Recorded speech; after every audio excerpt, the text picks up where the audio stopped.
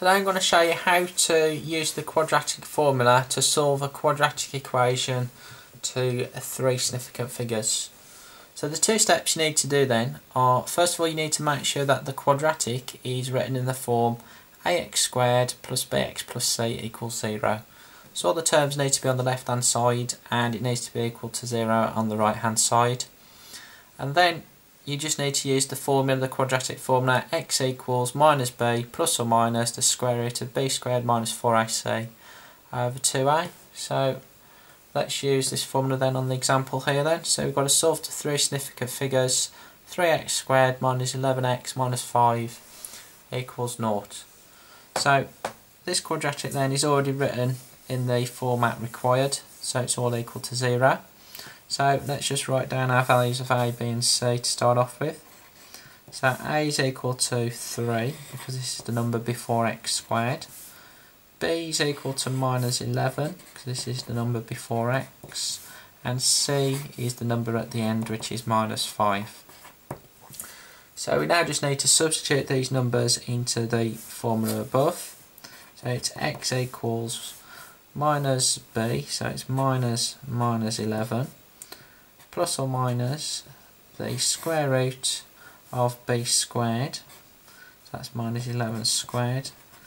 Make sure you put the um, number in a bracket here because when you square a negative number on your calculator and it won't come out right, it'll give you a negative answer instead of a positive answer. So then it's minus 4 times a times C all over 2 times A. So you could simplify this a little bit more now or you could just go to your calculator and type this in. So the calculators these days are pretty good so it should be able to handle what we have here. So just hit your fraction button. So we've got minus minus 11 so we need to do 1 minutes plus and then go back and change it to a, a negative later. So plus uh, the square root of minus 11 squared minus 4 times 3 times minus 5. Let's go to our next line and this is over 2 times 3.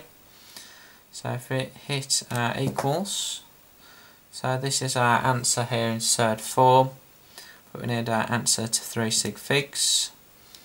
So if we just round it off, it would be 4.08 to 3 sig figs. So that's one of our answers. So we just need to now go back and change the plus in the middle to a minus.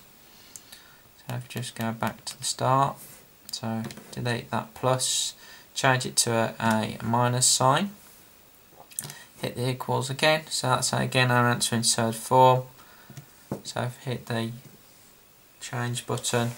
So to 3 sig figs that would be minus 0.409